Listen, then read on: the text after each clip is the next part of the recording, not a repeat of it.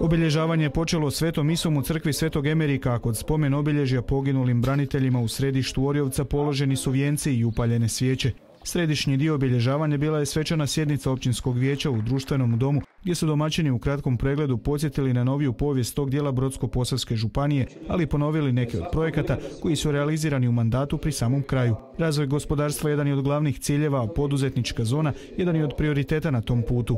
Sredina e, gdje djeluju mnogi manji i srednji gospodarstvenici, obrtnici, neki od njih danas, to što što je teško, što je kriza u, društvu, u Hrvatskoj pogotovo, uh, mnogi od njih izvoze, evo, izvoze u zemlje Europe, neki čak na druge kontinente, iz Orjovca, iz ovih naših e, poduzeća, tvrtki. Značajna se sredstva svih ovih godina ulažu u komunalnu infrastrukturu kako bi kvaliteta života bila na što većoj razini. To je svakako izvodnja kanalizacije koja je započela, koja traje već par godina, ide, znači, dakle, etapno u više faza. E, to je plinifikacija koja, koja evo sada je ovaj, prošle godine rađena, bit će rađena ove godine.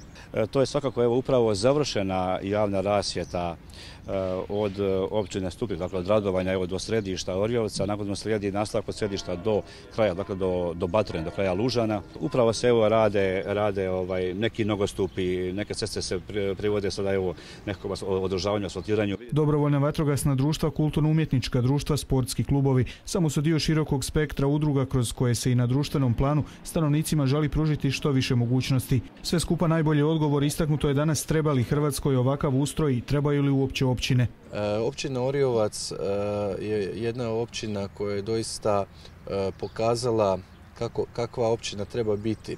I kao što sam rekao dokazala svoje, svoju opravdanost jer bilo je puno govora ukidanje općine i tako dalje. Ja smatram da niko bolje ne može znati od ljudi koji žive na ovom području koje su njihove potrebe koje su njihovi potencijali. Ovdje je život vrlo aktivan. U svakom segmentu u svakom pogledu e, smatram da smo apsolutno svih ovih godina stvorili općinu, rekao bi po mjeri građana, po mjeri njenih mještana, da se ta općina kao jedinica lokalne samouprave maksimalno trudi i u tome uspijeva da zadovolji potrebe građana u svim segmentima života. Tako je jedna od najvećih i najrazvijenijih općina u Brodsko-Posavskoj županiji, ali i šire u Slavoniji, proslavila dva desetljeća postojanja, period koji je potvrdio da ovdje leže veliki potencijali te da ih se vrlo dobro koristi.